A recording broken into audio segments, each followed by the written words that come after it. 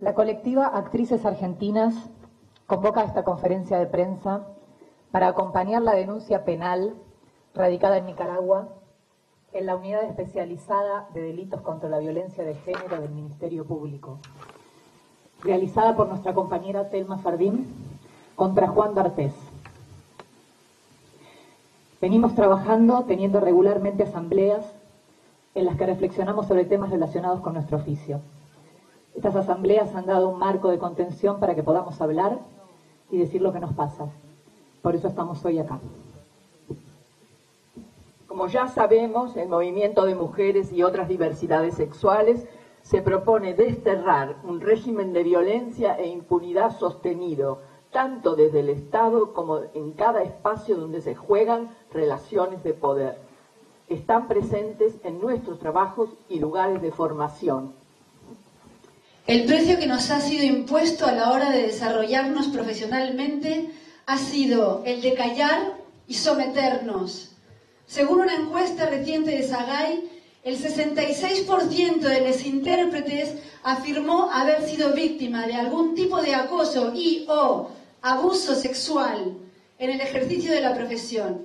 Se parece más a una norma que una excepción, ¿no? Porque ¿a quién vamos a denunciar? ¿Al jefe de casting? Al dueño de la productora, al director de la obra o película, al maestro de teatro. Es sabido que este es un fenómeno que ha sacudido internacionalmente a la industria del espectáculo y es funcional a ella. Hoy decimos basta, escúchennos. El tiempo de la impunidad para los abusadores, repito, el tiempo de impunidad para los abusadores debe terminar.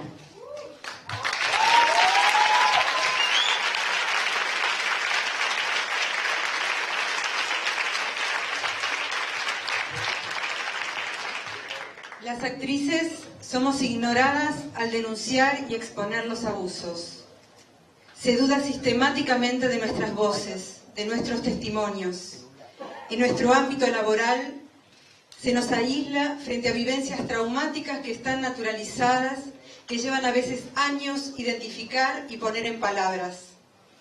Mientras tanto, el abusador habla, actúa y trabaja con total impunidad y pretende hacer a la víctima responsable de su propio abuso.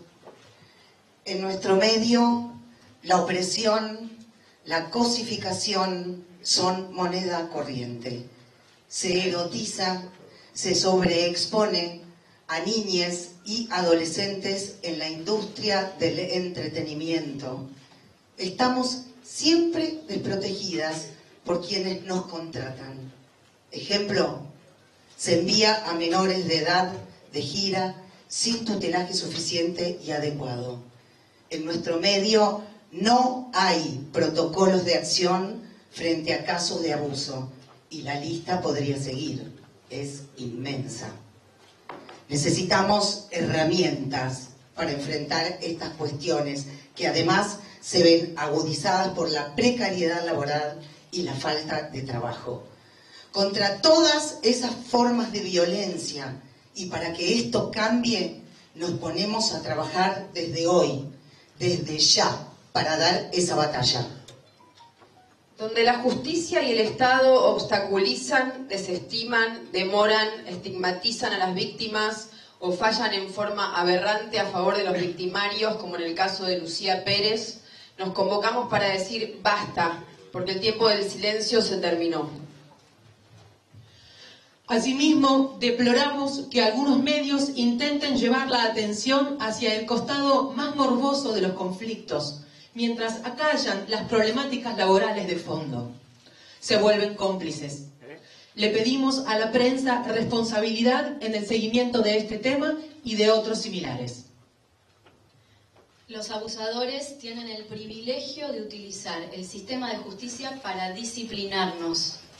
Buscan callarnos, iniciando contra quienes se atreven a romper el silencio causas por daños y perjuicios o denuncias penales, mientras las víctimas sufren las prescripciones, dilaciones, malos tratos y descreimiento por parte del aparato judicial. Telma, pudo radicar la denuncia penal en la justicia, pero otras compañeras que narraron haber sido violentadas por el mismo sujeto no pudieron avanzar judicialmente.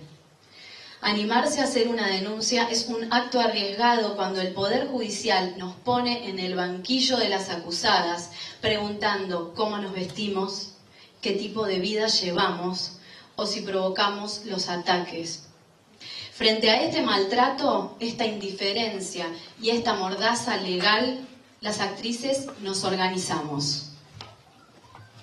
Frente al mira cómo me pones, nosotros decimos mira cómo nos ponemos, unidas, fuertes, frente a tu violencia y tu impunidad, nosotras estamos juntas.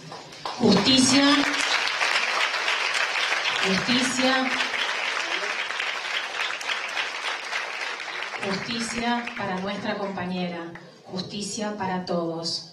Esto recién empieza.